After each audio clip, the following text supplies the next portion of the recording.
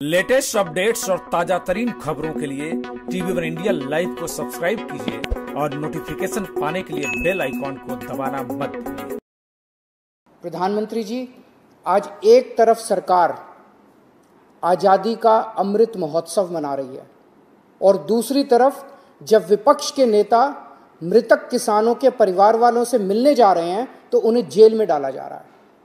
ये कौन सी आज़ादी का जश्न है? ऐसे तो अंग्रेज़ करते थे। क्या इसीलिए हमारे पूर्वजों ने आज़ादी के लिए संघर्ष किया था?